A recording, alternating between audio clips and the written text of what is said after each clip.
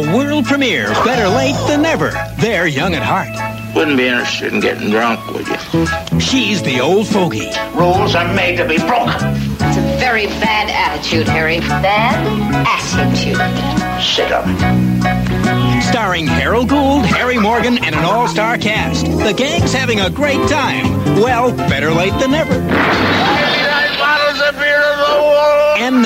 NBC presents a heartwarming comedy, Better Late Than Never.